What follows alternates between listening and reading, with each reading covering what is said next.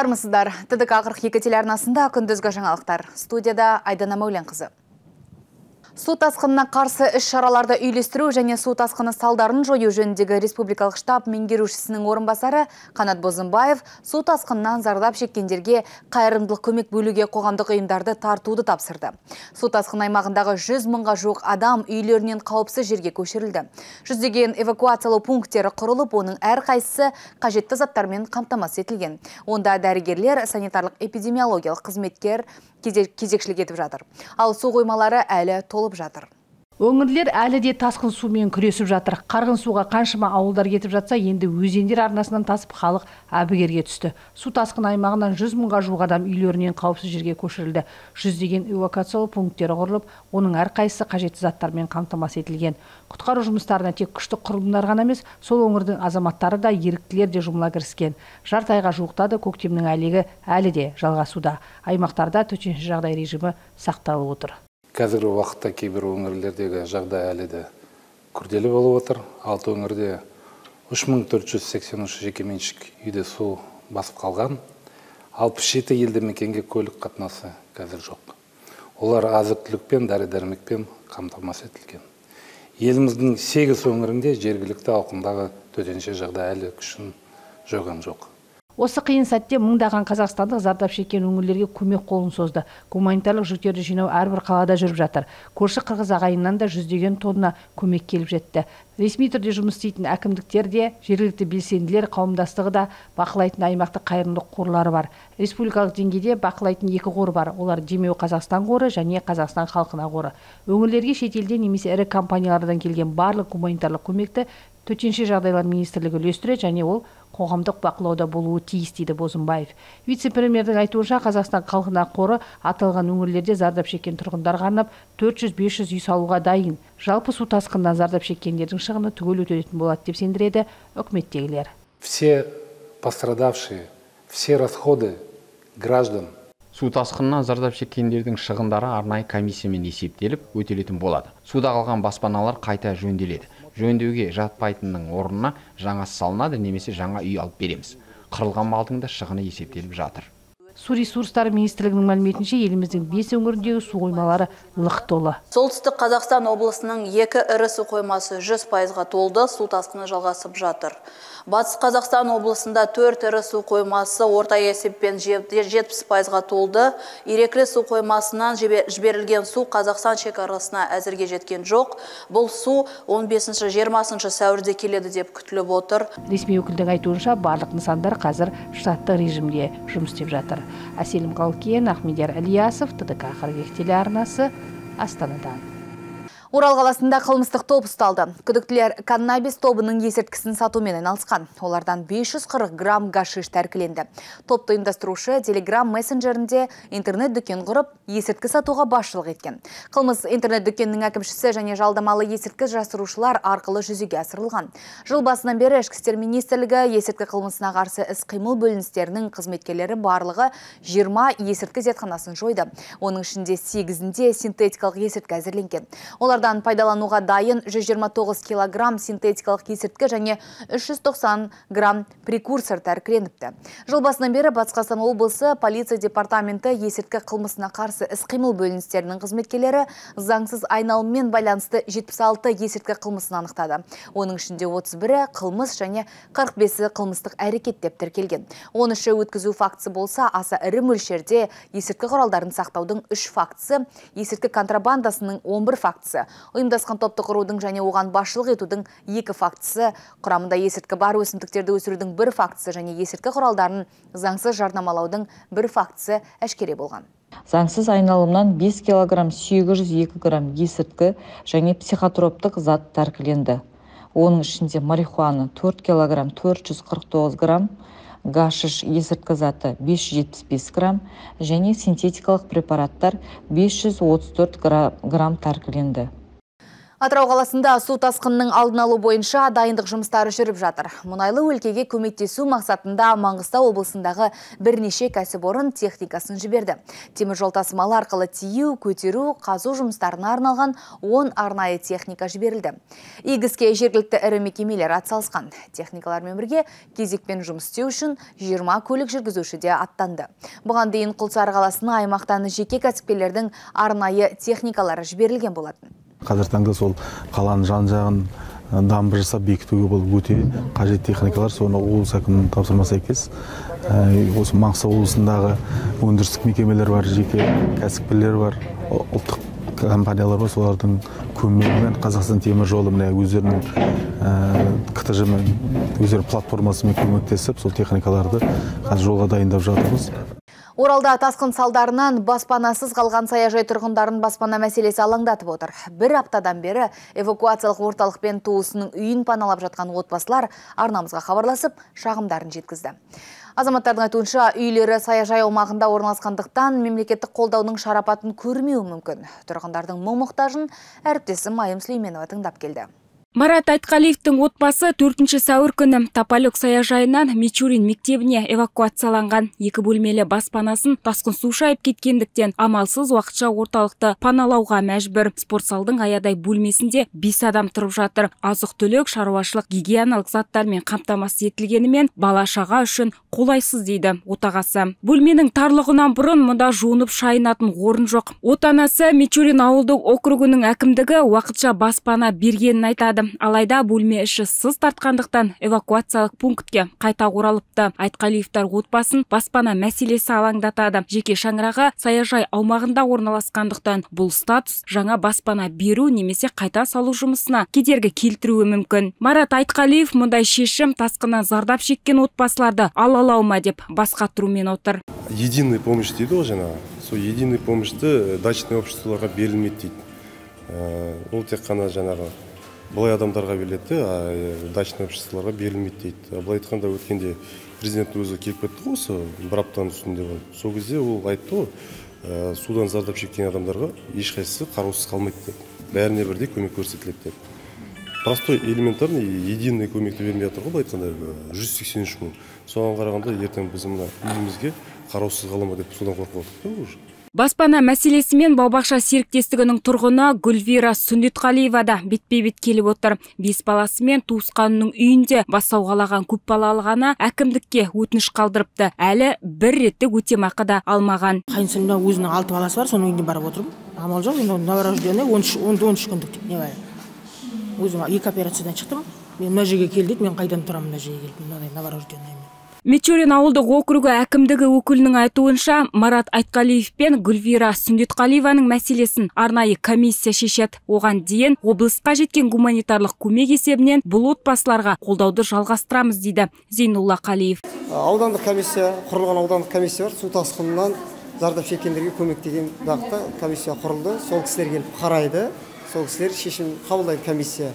Мен, я болмаса ауылдық округ әкімі біздер шешім шығара алмаймыз құрылған комиссия. Бәр жерде комиссия құрылып жатыр ғой білесіздер ғой ел елде комиссия. Сосын келіп қарайды сосын қандай көмек ұсынады сол кісілердің шешімімен қабылданады. Заңға сүйене отырып берілетін заңға сүйеніп отырып шешетін шаруа. Сондықтан оны мен де басып айта алмаймын. Саяжайдағыларға беріледі или берілмейді. Оның өзінің алгоритмі болады. Бәр жерде солай. Заң бірдей қазақстан бойынша. Сол заңға сүйеніп келген комиссия шешім шығарады қарағаннан кейін. Марат Айтқалиев пен Гүлвира Сүндетқалиеваның өтініштері тасқыннан зардап шеккендер тізіміне алынған. Арнайы комиссия ауыл-ауылды аралап жүр деп нақтылады әкім орынбасары. Ол жұмыс тобының Мичуринге келер уақыты тұрғындармен жүздесу күні белгісіз. Баспанасыз қалған отбасылар су басқан бөлмелерін фотоға түсіріп, бейне жазбаларын сақтап, тас түйін дайын отыр. Жалпы Мичурин ауылдық округіндегі саяжайларда төрт үй суға кеткен. Айым Сүлейменова, Олег Писаренко, Аймұрат Жағыпар, ТДК 42 телеарнасы. Тасқын сумен күрес шараларына Батыс Қазақстан облысының педагогтер қауымы үн қосуда. Қала және аудан мектептерінің ұстаздары ерікті түрде қолдарына күрек алып, қапшықтарына құм толтыру жұмыстарына белсенді қатысып жатыр. Облыстық білім басқармасының хабарлауынша қалалық ұстаздар жұмысшыларға арнап түскі және кешкі ас дайындап, қол ұшын тигізіп бағуда. Казталов аудандық дене шынықтыру және спорт бөлімінің басшысы Берік Рахымқалиев ауданнан елу адамда бастап келген. Ұстаздар мен мәдениет спорт саласының қызметкерлері ауыл жастары сын сағатта ойланбастан көмек қолын созуға бекінген. Олар көппен бірге қапшықтарға құм толтырып жүк көліктеріне тиесуге атсалысып жатыр. Әлеуметтік желіден көргеннен кейін ауданымызға хабарландыру жасадық. Еріктілер бар ма баратын деген барлығы ерікті түрде өздерінің қалауларымен келген еріктілер. Бұл жерде енді жұмыспен или сағатпен санасатын уақыт емес қой? Елбасына күн туғанда барлығымыз да атқа қонуға дайынбыз. Иә біреулердің үйі құлап жатыр бірақ енді рухы құлаған жоқ қой ешкімнің. Күшіміз бірлікте. Біздер қашанда елімізге көмектесуге дайынбыз. Ел ырысы аумағындағы полигонда қызу жұмыс жүріп жатыр. Жұмысшыларға аудан ауданнан келген ұстаздар қосылды. Мұнда ер азаматтар қауымы асарлатып бір мезетте мыңдаған қапшықты топырақпен толтырып жағалауға жөнелтеді. Ал еңбек күшіне арнап қалалық мектептердің ұстаздары екі мезгіл ас дайындап әкеледі. Біз қаламыздың қала мектептерінің ерікті ұстаздары ретінде қаламызда төтенше жағдай басталғаннан бері күшіміз келгенше қолдан келгенше ерікті ұстаздар көмек қолын созуға шығып жатырмыз. Біздер қаламызда тегін көлік тегін тамақ эва пункттерге тегін жеткізу еріктілер жұмыс жасап жатырмыз. Және де бұл еріктілер жұмысы пандемия кезінде де бастау алып сол кезден бастап қызметіміз жүріп жатыр. Облыста су басу қаупі әлі де сейілген жоқ. Жайықтың деңгейі жеті метрден асты. Қазіргі күні сала өкілдері еріктілер мен тұрғындар күш біріктірген. Өзен жағалауына жақын орналасқан ауылдар мен бау бақша серіктестіктеріндегі тұрғын жайды сақтап қалу үшін бөгет тұрғызу жұмыстары қарқынды жүргізілуде. Айым сүлейменова олег писаренко аймұрат жағыппар тдк қырық екі телеарнасы. Атырау Ақтау тас жолында 5 сәуірден бері 470 фура тұр. Себеп трассаның кейбір бөлігін су шайып кеткен. Сәйкесінше жауаптылар оларға дасор құлсары айналма жолы арқылы жүрмеу керектігін ескертіп жатыр. Жолда тұрғандардың 370-і Өзбекстан, Түркменстан, Украина, Молдова, Румыниядан елдерден келе жатқандар. Қазіргі таңда тәулік бойы кезекшілік ұйымдастырылған. Ал жергілікті халық жүргізушілерді азық түлікпен, өзге де керек жарақпен қамтамасыз етуде. Батыс Қазақстан облысындағы 94 елді мекенге тасқын су қаупі төніп тұр. Мамандардың дерегінше бастауын Ресейден алған мол су өңірге 15-20 сәуірде келіп жетеді. Қазір су басу мүмкін аумақтар биіктетіліп, өзен жағасынан бөгет салынып жатыр. Тасқынға қарсы қарбалас тірлік туралы тілшіміздің материалында. Жайық арнасынан асады деген суық хабарды естігенде үйінде жайбарақат жата алмаған шалғайдағы ауылдықтар бүгінде облыс орталығында жүр. Жаңа қалалық 85 ерікті қазір хабар қалап жағаны бекітуге көмектесу үстінде. Бүгін ертең олардың қатарына басқа аудандардың тұрғындары да қосылмақ. Жағдай тасқыны болып отырғасын. Аз да болса да қол ұшымызды берейік деп бүгінде жаңғала орталығынан тағы бір топ елу шақты азаматтарымыз келді. Қазір жан жаққа бөлініп жұмыс атқарып жатыр қаланың іргесімен ағатын жайықтың жағасындағы бөгеттің осал тұстары анықталған. Қазір осы аумақты биіктету жұмыстары жүргізіліп өңірдегі арнайы техниканың бәрі жұмылдырылыпты. Техника кіре алмайды. Жүзге жуық адам жұмыс істеп жатыр. Біздің жергілікті әскери құрам бар одан бөлек басқа облыстардан өңірлерден келген құтқарушы командалары осы жерде жұмыс жасап жатыр. Үй суға кеткен мың жарым оралдық он эвакуациялық орталыққа орналастырылды. Аумағы үлкен ғимараттар қосымша лайықталып жатыр. Қаладағы жалғыз теннис корты да қазір осындай уақытша мекенге айналған. Бұл жерде 500 адам паналай алады. Балалардың бос уақытын тиімді өткізу мақсатында орал қаласындағы комьюнити орталықтар мен аула клубтар жұмыстанып отыр одан бөлек мына сабаққа баратын балаларға автобуспен қатынауға арнайы автобус бөлініп отыр. Кейбір эвакуациялық орталықтарда балаларға арнайы методикалық кабинет бөлініп сол жерде онлайн оқу оқу үшін жағдай жасалған. Тасқын өңірдегі 94 елді мекенге қауіп төндіріп тұр. Ал бүгін жайықтың суы 7 метрден асты. Егер деңгейі 8 метрге жетсе оралды су басады дейді мамандар. Қазір олар қарғын суды бағытымен қарқын күн сайын әуеден барлап жүр. Жайық 15 сәуірде қауіпті межеден асады деген болжам бар айнұр төлеуғалиқызы айболат жағыпар александр грабарев тдк қырық екі телеарнасы Тасқын судың зардабы саяжай тұрғындарына да жетті. Қала аумағындағы бау-бақша секторы суға кетіп жатыр. Қазір қауіпті аймақтағы тұрғындар эвакуацияланды. Ал жайықтың суы күннен күнге көтеріліп қаупі үдеп барады. Жайықтың жайылмасында орналасқан саяжайлар суға кетті. Қазір ол жердегі бау бақша серіктестіктері газ бен жарықтан толықтай ажыратылған. Осыдан үш күн бұрын нұрлы жол және екінші саяжай аумағын тасқын таптап халық үрейленіп қалған. Абырой болғанда адамдар аман тек жеке сектор түгел су астында қалды. Тұрғындар қауіпсіздік үшін эвакуацияланды. Бұл нұрлы жол саяжай ауданындағы э, үйлер. Қазір өздеріңіз көрсеңіздер мінекей э, тасқын судың деңгейі биіктігі э, үйдің ортасына дейін жеткен бұл жердегі тұрғындар түгелге дерлік эвакуацияланды. Э, төтеншеліктер кезекшілікпен арнайы мамандар қызмет атқаруда. Өзім кеше сол астана қаласынан ұшып, ұшып келдім. Жаңағы су кетіп жатыр дегесін. Енді үйіміз ана жоғары жағында су кетіп қалған. Соған жете алмай жатырмық қайық жоқ дым жоқ. Жауап мамандар келді ме? Біреулер болсын ой кеше кеште сол келдім. Бір осы жерде бір минутта жүрді болды басқа ешкім жоқ. Қазір аталмыш аумақта су басу қарқыны тәулігіне бір жарым метрге жетіп отыр. Кей тұрғындар алдын ала қауіп жөнінде ескертілмегенін айтады. Тіпті түннің уағында үйімізден өз күшімізбен шықтық деп ренжулі осы үш күннен бері қарай осы жерде жүрміз. Семьямда бәрін андамда әке шешем қалада тұрады. Нағашы апаларым мен жездемнің үйінде. Өзім апамның үйінде тұрып жатырмын ағам мен ініммен енді самый главный төсек көрпелерімізді алдық. Қалған енді жоғарыға көтеріп шамамыз келгенше енді. Өз, өз еркімізбен шықтық. Бұл жерде ешкім көмектескен де жоқ келіп. Өзіміз эвакуация жасап. Десе де көзімізбен көргеніміздей төтеншеліктер күндіз түні кезекшілікте қызмет жасауда. Ал полиция қызметкерлері тұрғындардың қауіпсіздігін қадағалап жүр. Орал қалалық полиция басқармасы жанынан э, осында полиция қызметкерлері күндізгі және түнгі кезекшілікте тұрғындардың э, қауіпсіздігін қамтамасыз етуде. Су тасқынынан зардап шеккен тұрғындар кеткен шығын толығымен өтелсе екен дейді. Қарызданып несиеге салған баспаналары бір мезетте су астында қалды. Тасқын су қаупі бәйтерек ауданы жайық ауылында жайлауы мүмкін. Қарғын су ауыл маңын қоршап тұр. Елді мекен азаматтары өз күштерімен құм толы қапшықтармен ауыл айналасын көмкеріп қауіптің алдын алу үшін жанталасуда. Айдос ашкенов марлен искалиев марсель шайхиев тдк қырық екі телеарнасы. Ақтөбе облысының Ойыл ауылында ғана 340 ғимарат су астында қалды. Премьер-министрдің орынбасары Серік Жұманғарин су тасқынынан зардап шеккен өңірге барып қайтты. Эвакуациялық пункттердің жағдайын қадағалап, тұрғындардың өтініштерін тыңдады. Атап айтқанда, су басқан ауылдардың тұрғындары аудан орталығы Ойылға қоныс аударғысы келген. Әкімдік бұл өтінішті орындаймыз деп уәде берді. Ойыл ауданының өзінде ғана су 340 тұрғын үйді басып оның 49-ы әлі су астында қалып отыр. Тұрғындар баспанасыз қалғандықтан бөлінген дүние мүлкіне өтемақы төлеу мәселесіне алаңдаулы. Ал үйлердің төбесіне дейін су басқан екпетал жаңабас ауылдарының тұрғындары жаңа баспана салынған жағдайда ойыл аудан орталығына көшуге дайын екендіктерін жеткізді. Бізге ендігі жерде де керегі үй. Үйіміз суға кетіп қалды жалпы қаратал бойынша 98 пайыз суға кетті десе болады.